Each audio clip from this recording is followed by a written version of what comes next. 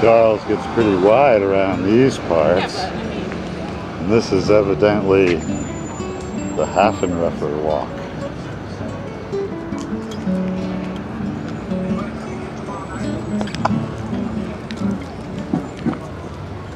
Hmm. There's a fake trolley.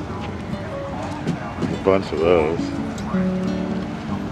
Real trolleys croaked around the 1930s, all except for the green line. And there's various people flogging stuff.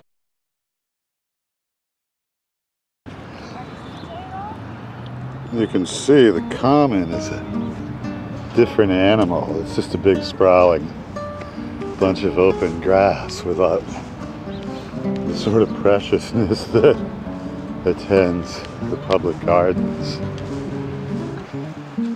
You'll find all kinds of skanks here. Used to be a brisk dope dealing business, but I'm not sure if it's continued.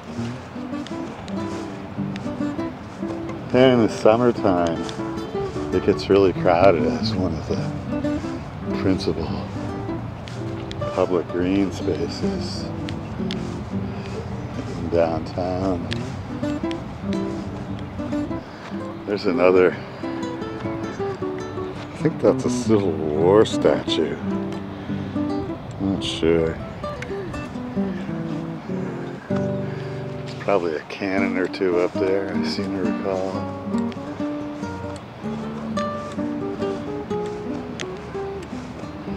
This is so ridiculous. They can't just have a stage. They need giant flat screen TVs beaming bullshit at you 24 7.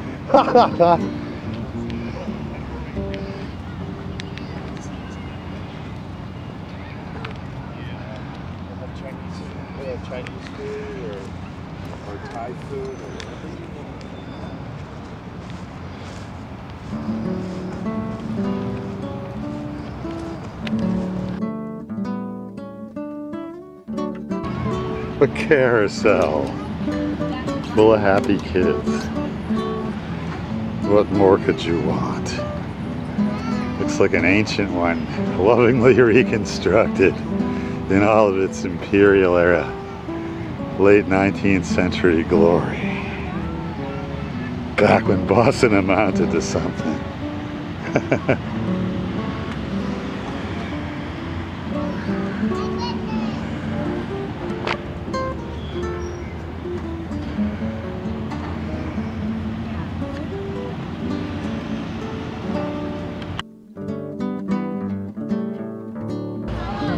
And this is the old skating pond, summertime mosquito pit.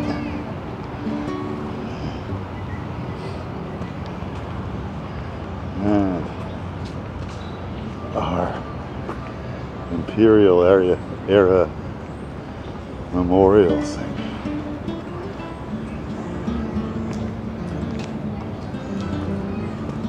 Ah, there's that landmine.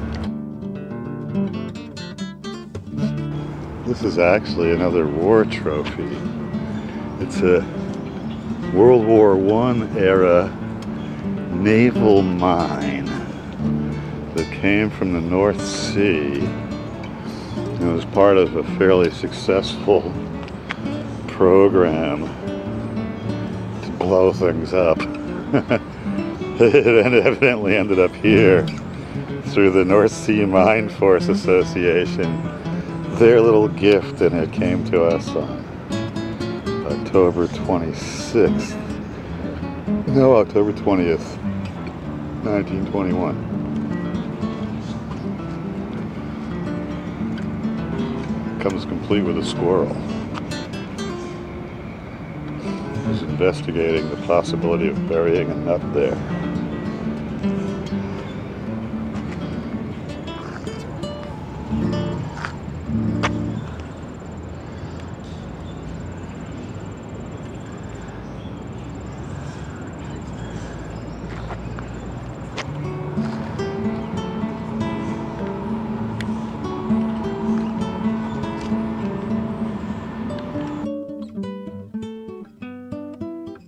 Take our leave of the sea mine and stroll down this boulevard of sorts here, which ought to take us reasonably close to Park Street on the point where the Freedom Trail thing begins.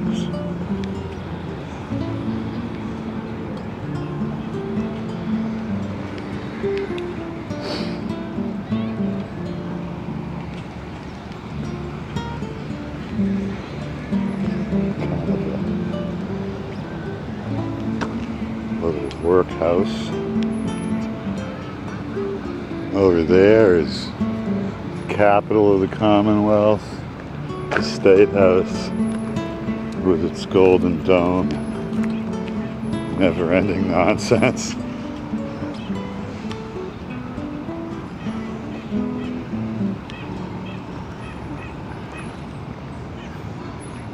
Looks like people have stuff to peddle.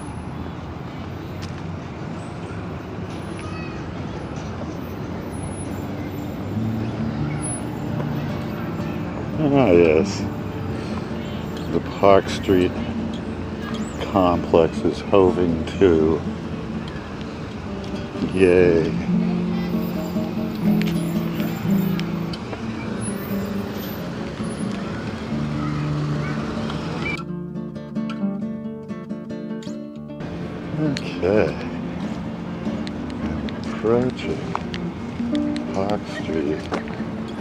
And the yuppie hustler density is increasing exponentially. I'll see if I can't get a workaround going of all around all the importance. And find my way over to this Freedom Trail travesty. Oh yeah, this is the plaza of many sculptures. In the waning days of summer, there's still some life to it. Ooh, we have a new, exciting sculptural gimmick. I think it's about global warming. So, of course, it's hard to not endorse. Urban greening.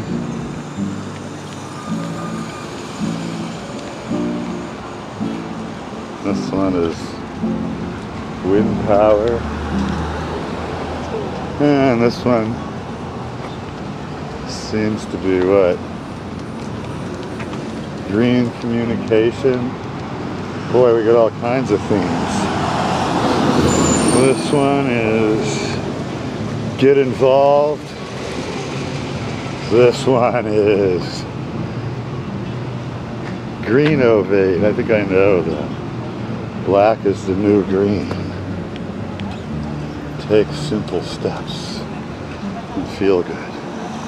And this must be touting species adversity, encouraging you to take notice of nature's signs.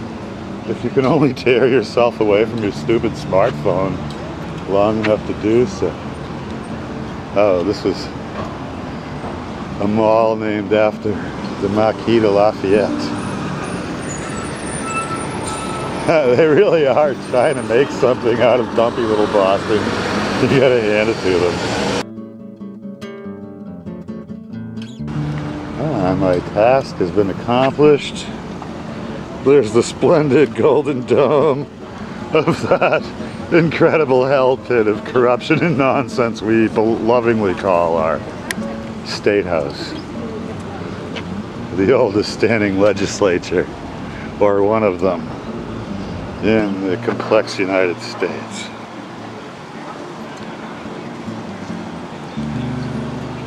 Uh, what's the theme on this one? New England's climate pledge. Uh, what do we have here?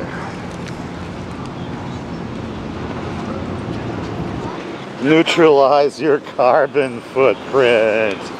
Yeah, if you could only stop getting your face in your smartphone for 20 seconds. And here, what's the admonishment? Use public transportation. If you can only get away from the egocentric nonsense of being your little individual self in your little individual car. And finally, what does this one want from us?